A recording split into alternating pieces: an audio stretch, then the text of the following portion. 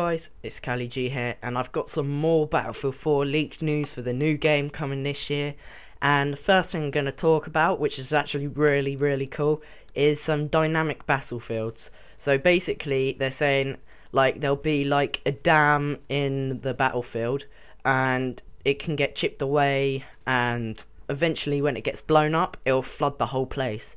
Which I thought sounds really cool, and hopefully they do that with a couple more maps as well. So I really hope that'll be in the new game.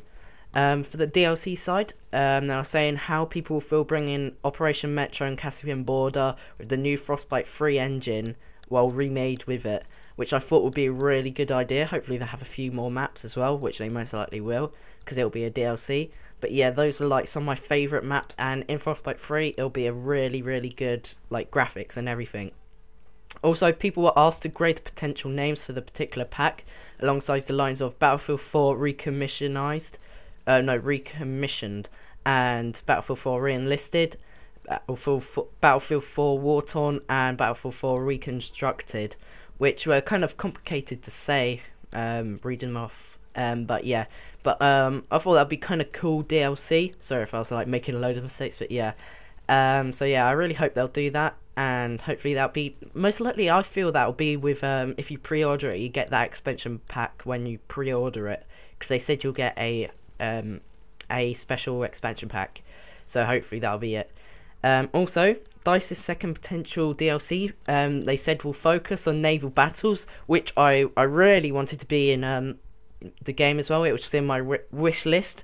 If you kind of didn't understand where I was going, um, so naval battles only, and had potential names like Battlefield 4 Naval Warfare and Battlefield 4 Steel Titans. So that sounds really cool. Um, that would be kind of cool, like having more boats and stuff, because the game it had boats and everything, but it wasn't really focused on it that much. It was more like tanks and planes, really. Um, right. So now, um, new dinosaur mode um, everyone's talking about.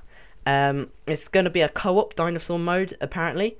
Um, players team up to fight dinosaurs with bows, arrows in hands, as well as primitive weapons.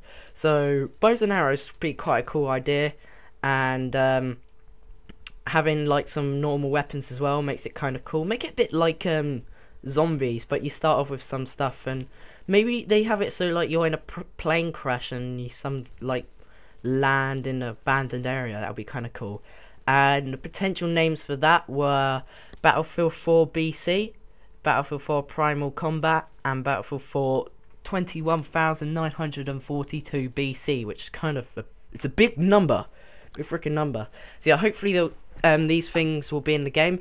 I'm mostly excited for um, the naval warfare and um, the um, the dinosaur mode.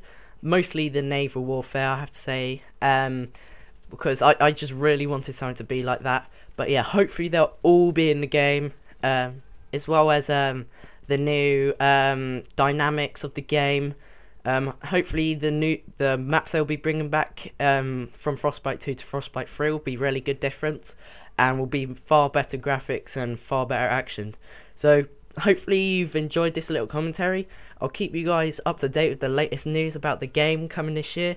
And thank you for watching. Please rate, comment, and subscribe. And thank you for watching. Bye.